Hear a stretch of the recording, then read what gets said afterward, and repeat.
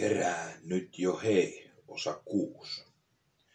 Tässä podcastissa käsittelen tällaista vaikeaa asiaa, kuten kuritus, nuhde ja katumus ja parannus.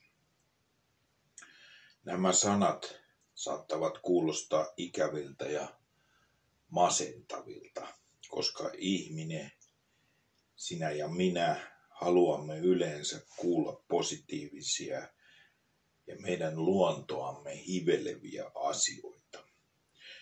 On kuitenkin niin, että jos ymmärtäisimme joka päivä näiden sanojen taustalla olevan Jumalan rakkauden, emme kääntäisi nytkään korviamme ja silviämme toisaalle. Ilmestyskirjassa Kristus itse sanoo penseäksi muuttuneelle Laudekaan seurakunnalle näin. Kaikkia niitä, joita minä pidän rakkaina, minä nuhtelen ja kuritan. Ahkeroitse siis ja tee parannus. Sanoisin, että näiden sanojen merkitys ja niiden lapsenomainen ymmärtäminen on elämän ja kuoleman kysymys. Silloin kun Herra puhuu, hän voi myös puhua kurittamalla ja nuhtelemalla. On meidän syytä kyllä kuunnella ja totella. Jopin kirjassa luvussa 33 sanotaan, sillä Jumala puhuu tavalla ja puhuu toisella, sitä vain ei huomata.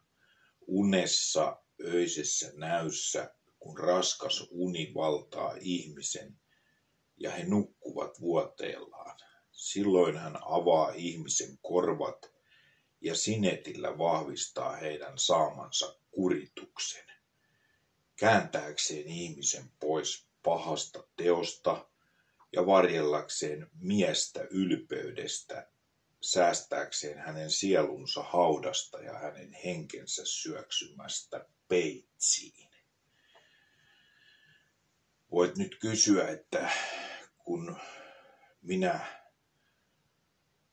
tuon vain tällaisia ikävältä ja tylsältä kuuluvia puolia esille Jumalan sanasta, että missä näkyy se Jumalan armo ja rakkaus.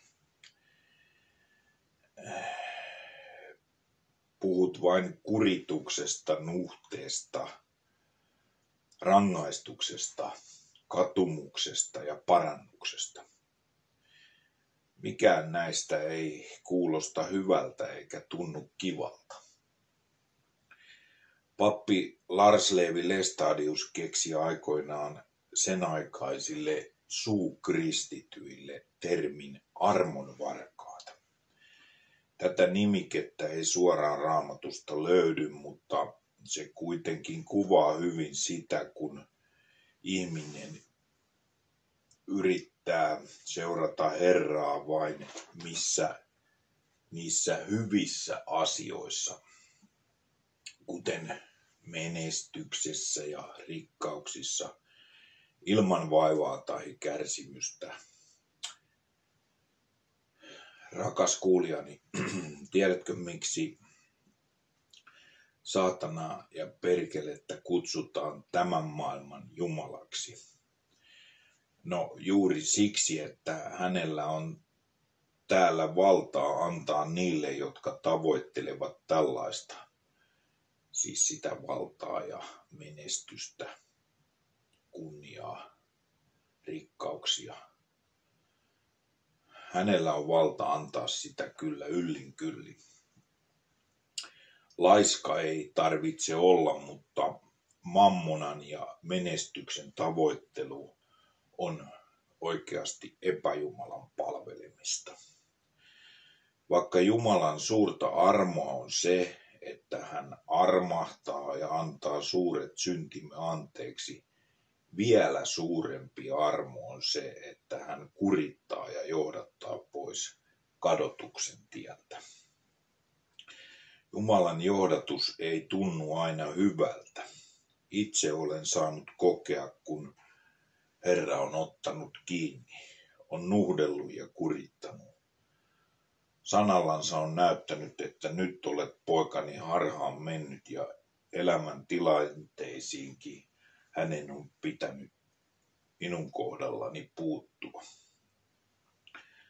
On ollut niinkin, että palavasti olen halunnut Herraa seurata, mutta sitten on tarkoitus pyhittänyt keinot. Ja ensin pikkuasioissa olen tehnyt vilunkia ja sitten myös isommissakin. Jos vanhurskas vaivoin pelastuu, niin mihinkä joutuukaan Jumalaton ja syntinen. Kun reilu vuosi sitten Herra pysäytti minut väärästä elämäntavasta, niin tunne oli sellainen kuin voimat pimeydestä olisivat karkaamaisillaan kimppuuni. Ja kävelin kyyryssä, enkä nukkunut seuraavana yönä. Siinä kohtaa en voinut millään ymmärtää, että olin Herran puhuttelussa.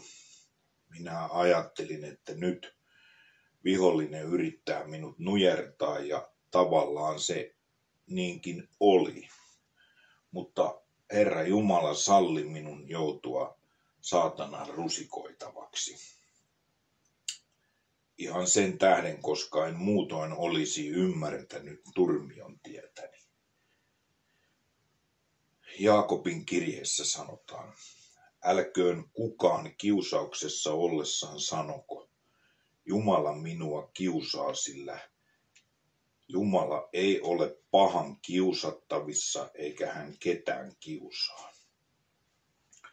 Ymmärrän nyt siis, rakas kuulija, koska emme vielä ole kokonaan pelastuneita, vaan pelastuksen tiellä, eikä kaikki meistä silläkään. On meidän tehtävä parannusta, on kilvoiteltava että voisimme saavuttaa voittoseppeleen. Vapahtajamme on kyllä hyvä paimen. Hän vitsallaan ja sauvallaan meitä johdattaa. Isän Jumalan rakkaus ja pyhän hengen osallisuus olkoon tänäänkin sinun ja minun kanssa. Aamen.